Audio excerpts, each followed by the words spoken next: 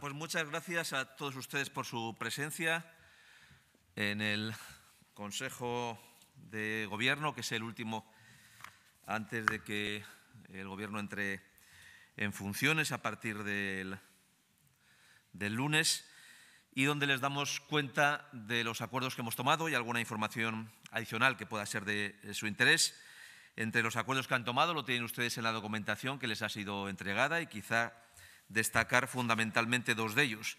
En primer lugar, que se ha ampliado la orden por la que se declaró de emergencia la contratación del servicio de transporte y logística de material sanitario relacionado con la COVID-19.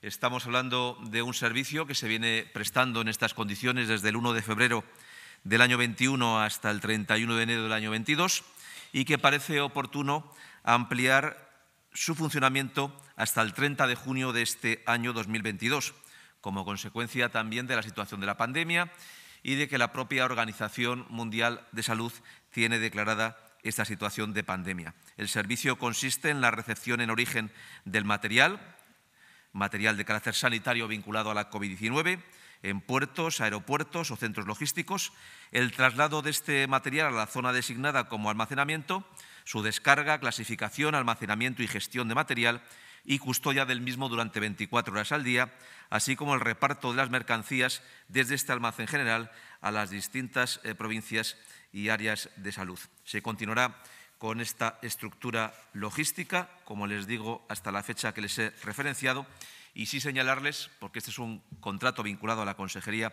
de Fomento, que durante este periodo eh, se han eh, consumido desde el punto de vista de la transmisión logística más de 80 millones de unidades de material de protección vinculado a la pandemia, incluyendo desde mascarillas, pares de guantes, gafas de protección, pantallas faciales, batas, buzos médicos, gel hidroalcohólico, eh, desinfectante y test de detección del COVID-19.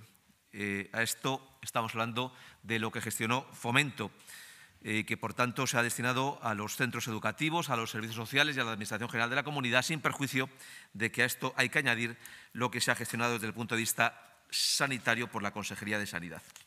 Y les informo asimismo que la Junta invierte 192 millones de euros en medicamentos destinados a la Gerencia Regional de Salud, 25 tipos de medicamentos que incluye medicamentos vinculados al tratamiento del cáncer, como antineoplásicos e inmunomoduladores, y aquellos vinculados para evitar el rechazo de los trasplantes, inmunosupresores.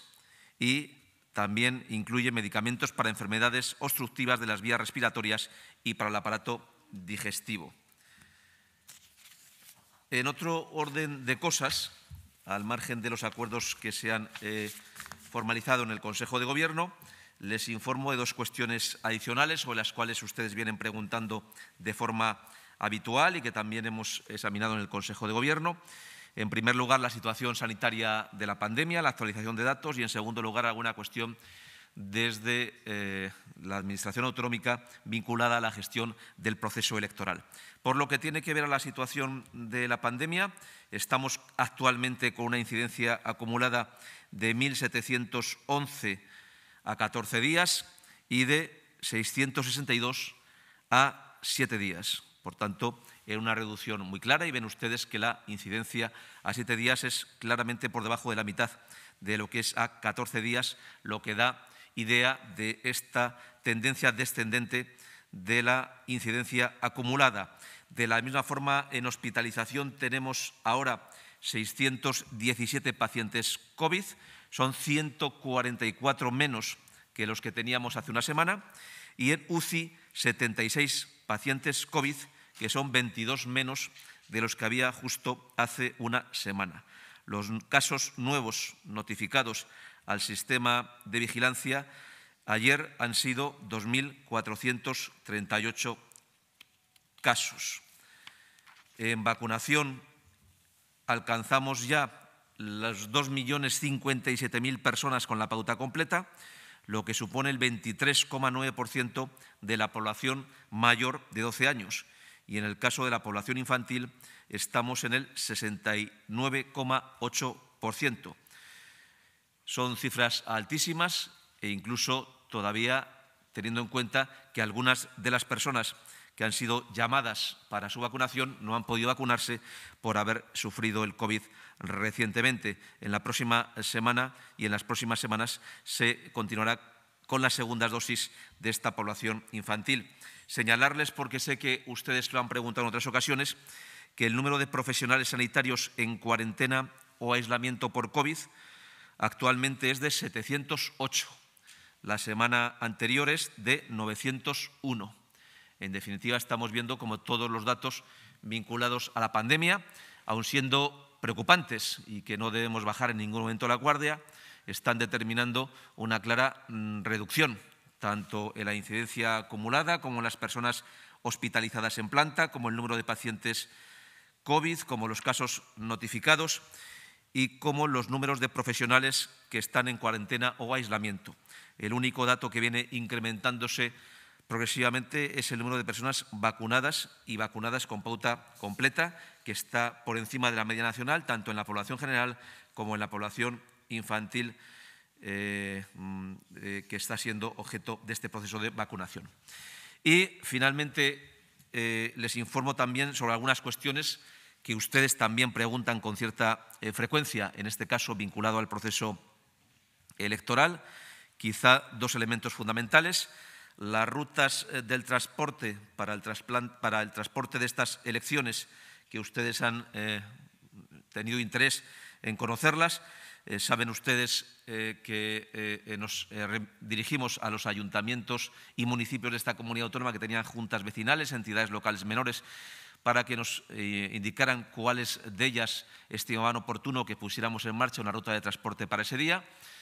Saben ustedes que el número de mesas electorales que hay en este proceso de ámbito autonómico es comparable al que ha habido en las elecciones anteriores de carácter general o de carácter europeo y solo cuando hay elecciones eh, municipales y hay eh, candidaturas en las juntas vecinales es cuando se ponen estas mesas en esas localidades. Como consecuencia de este proceso de oferta a los municipios, se va a ofrecer transporte para las elecciones a un total de 1.359 localidades de 263 municipios.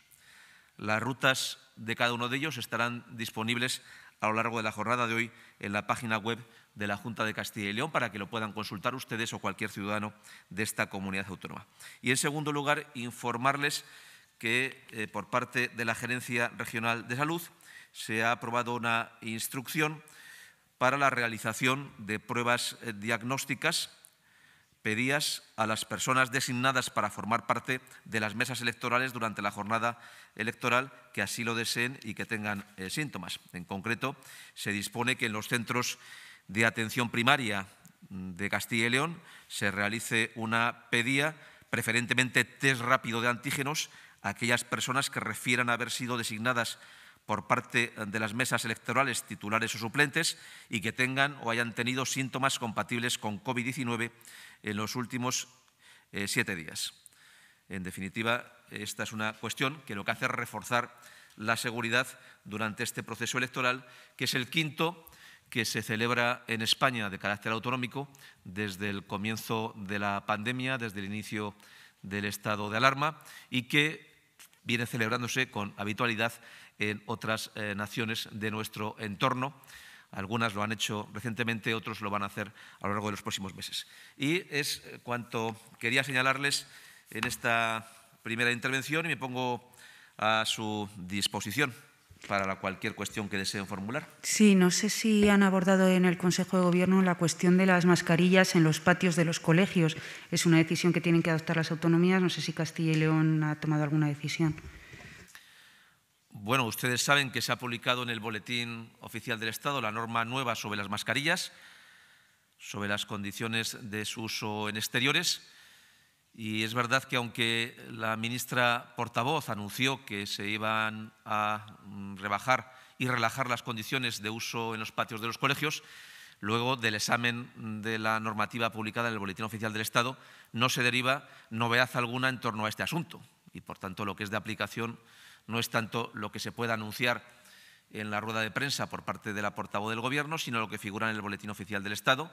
Y esto es lo que nosotros tomamos como referencia. ¿Qué hemos hecho? Pues la Dirección General de Salud Pública se ha dirigido al Ministerio de Sanidad pidiendo información de si hubiera alguna aclaración que no figure en el Boletín Oficial del Estado y que sea de aplicación. A día de hoy, del Boletín Oficial del Estado, y ustedes lo pueden consultar, no hay ninguna referencia de ninguna modificación de la regulación en este aspecto y, como tal, esperamos, si esta aclaración se produce, para aplicarla a nuestra comunidad autónoma.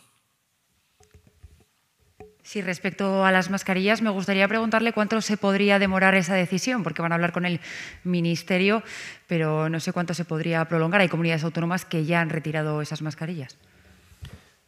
A nosotros es de obligado cumplimiento lo que figura en el Boletín Oficial del Estado. Mientras no se diga otra cosa, eso es lo que dice la normativa vigente.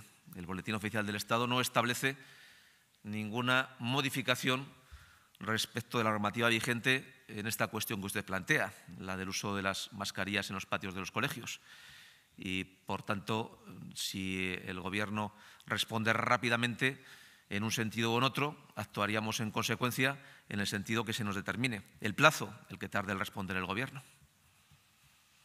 Sí, buenos días. Dos cuestiones, eh, portavoz. buenos días. Una de ellas es el tema de la reforma laboral, el salario mínimo interprofesional. Eh, usted en alguna ocasión, en calidad de consejero de Economía, sí que se ha referido a este tema. Eh, bueno, no sé si se puede hacer desde Castilla y León o desde la Consejería, desde la Junta, una llamada al empresariado de Castilla y León para que se sume a estos, a estos acuerdos que han sido rechazados a nivel nacional. Y por otra parte, en relación al tema de Monumenta, ayer el presidente de la Junta en el debate habló de que eh, el médico fue cuando él fue allí precisamente, pero allí eh, los vecinos de la zona dicen que el médico no ha aparecido en 700 eh, días, dicen. Yo no sé si dio la casualidad justo de que cuando fue él apareció en ese momento, bueno, y sobre todo que tiene que decir si, si los médicos se van a desplazar más habitualmente a esa zona de Zamora.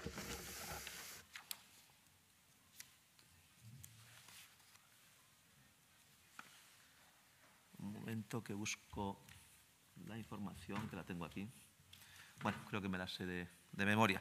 Plantea usted eh, dos cuestiones. En primer lugar, la opinión que tenemos sobre la normativa laboral, sobre el salario mínimo. Nosotros, en relación con el asunto del salario mínimo, lo que siempre hemos dicho es que la gran prioridad eh, tiene que ser mejorar la competitividad de la economía, mejorar la competitividad de las empresas, porque esa es la base también para crear empleo y la base para ir mejorando las retribuciones y también las retribuciones medias de todos los trabajadores.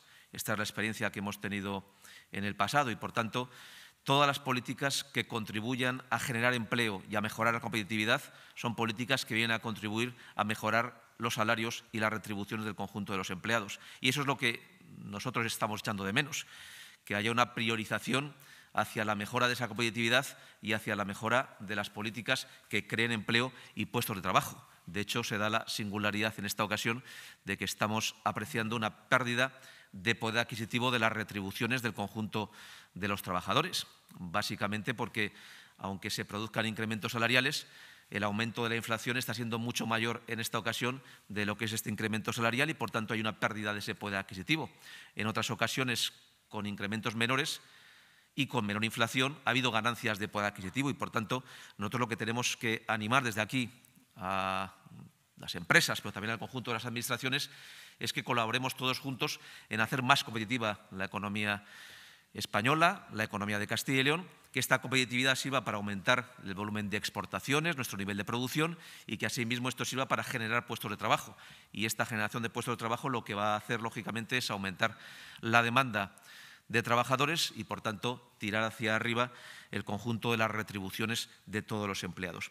Y en el caso de Monumenta, eh, acudieron los profesionales sanitarios el viernes pasado y, en concreto, la médico atendió a nueve eh, personas y la enfermera atendió a seis personas. Creo recordar que estamos hablando de una población con 31 tarjetas eh, sanitarias, de tal forma que ese día se atendieron a 14 personas de esas 31, nueve que fueron atendidas por la médico que fue a Monumenta el viernes y seis fueron atendidos por la enfermera que, que accedió a esa localidad.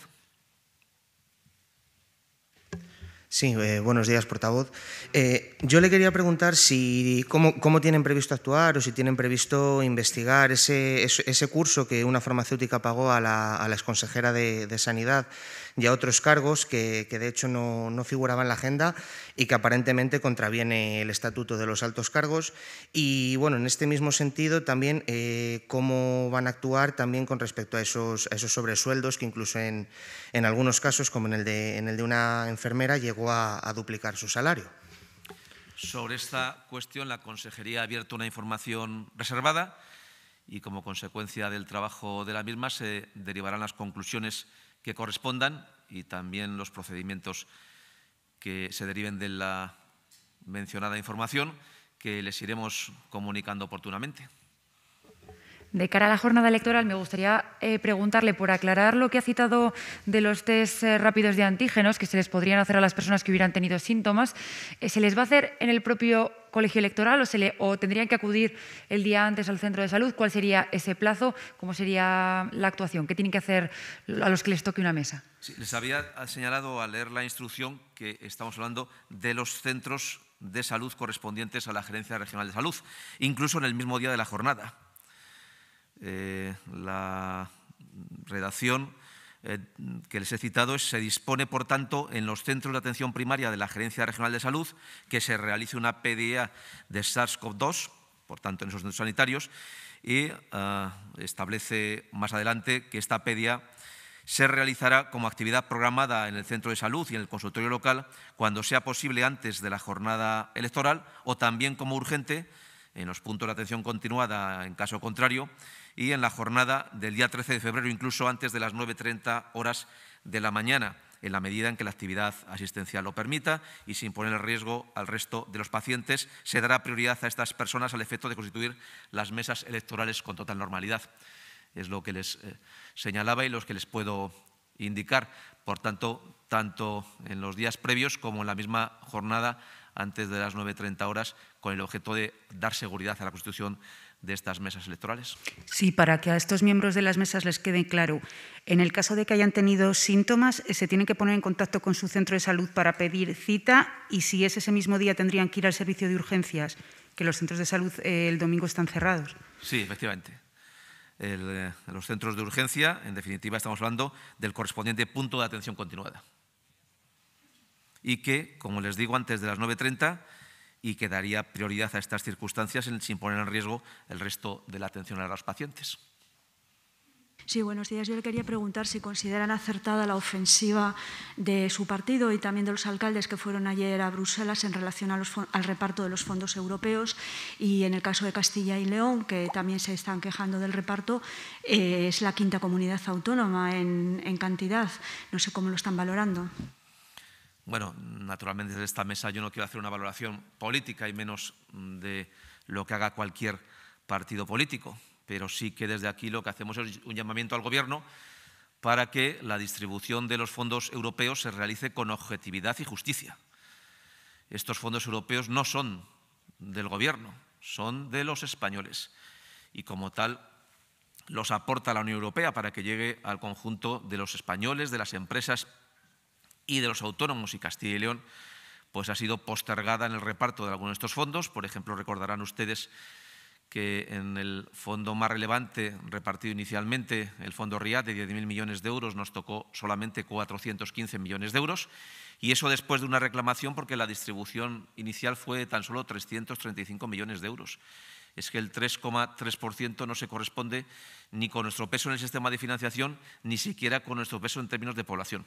Y luego ha habido algunos repartos en materia de protección social, en materia de empleo, donde a nuestra comunidad autónoma no se le ha entregado ninguna cantidad y se ha entregado a otras comunidades autónomas. Por tanto, esta exigencia de justicia y equidad en el reparto de los fondos europeos lo seguiremos exigiendo, porque yo creo que nuestra misión es defender los intereses de Castilla y León y exigir que este punto de equilibrio y justicia hacia nuestra comunidad pues, se lleve a cabo.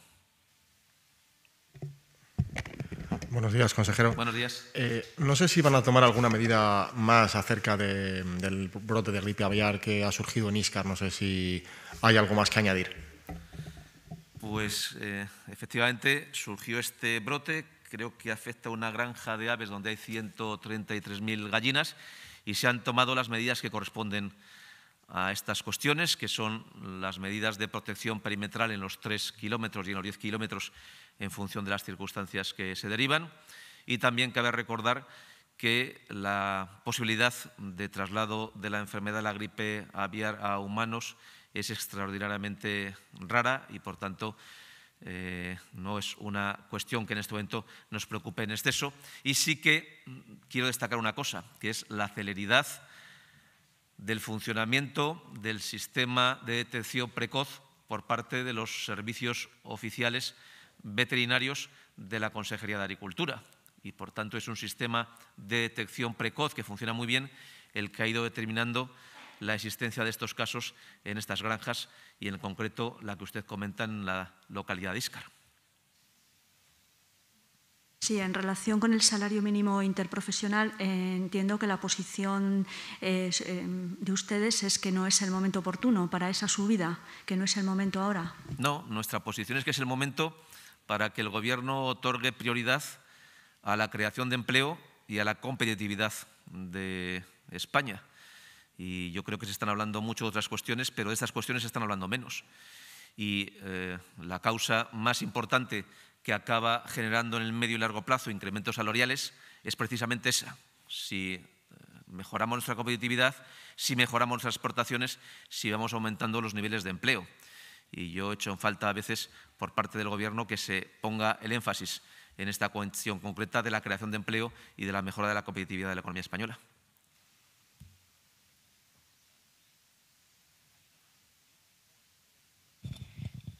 Si no hay más preguntas en la sala, vamos. Sí, Una cuestión más sobre la información reservada que han dicho que han abierto a la pregunta de mi compañero. No sé si nos puede detallar un poco eh, por qué se ha iniciado este trámite por parte de la Junta? Pues del conocimiento de las informaciones que se han tenido a través de los medios de comunicación y que su compañero ha hecho referencia.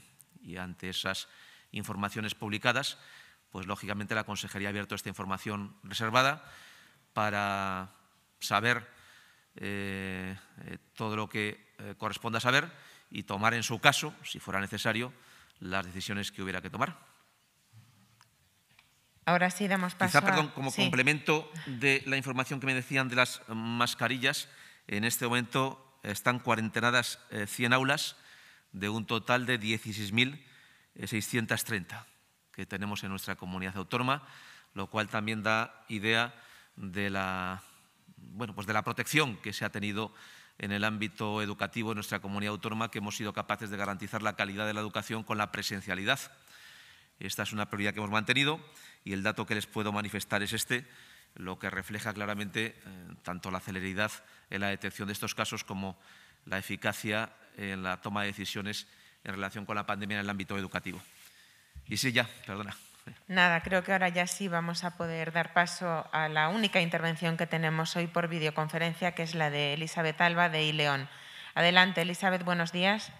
Buenos días, portavoz. Buenos días a todos. Eh, dos cuestiones es si nos puede dar los datos de la provincia de León del transporte para votar eh, el próximo domingo, 13 eh, de febrero, eh, y también de estas 100 aulas que acaba de decir que están cuarentenadas en la provincia de León. Y bueno, aprovechando que es el último Consejo de Gobierno, sí que quería preguntar al portavoz de la Junta cuál es el criterio de la Administración autonómica para no haber dado en casi dos años de pandemia los datos de muertes en residencias por COVID, atendiendo al derecho o a la protección de las empresas privadas, sobre todo en las que se habían producido esos fallecimientos, pero en cambio sí que están colgados en la web de datos abiertos los datos de los usuarios vacunados y también de los no vacunados. No, sé eh, si es que vale más la protección de las empresas, en este caso, que la de los usuarios, teniendo en cuenta además que no está obligatoriamente eh, estipulado la, vacunación contra la COVID. Gracias. Sí, pregunta algunos eh, datos, en concreto el traslado a través de medios públicos para las votaciones desde las juntas vecinales hasta donde hubiera alguna mesa electoral. Esta información está ya disponible en la página web de la Junta de Castilla y León, en todas las rutas de transporte, y no sé decirle en este momento el caso de la provincia de León, pero puede usted consultarlo y está a su disposición.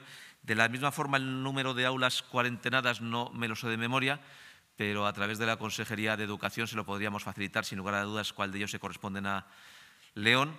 Y finalmente, el criterio de publicación de datos vinculado a la pandemia. Usted sabe que tenemos aquí un criterio de gran transparencia, incluso ha sido reconocido públicamente a nivel nacional que esta es una de las comunidades autónomas, y no la que más, que más información ha dado durante la pandemia y que más información ha dado vinculado a esa página web y, por tanto, es una información que nos ha parecido oportuno tener habilitada para que ustedes la puedan consultar y que tengan la máxima información accesible sin perjuicio de garantizar la protección de datos en los casos en que la ley nos obliga a ello. ¿Hay alguna pregunta más? Pues aquí terminamos. Gracias. Pues muchas gracias.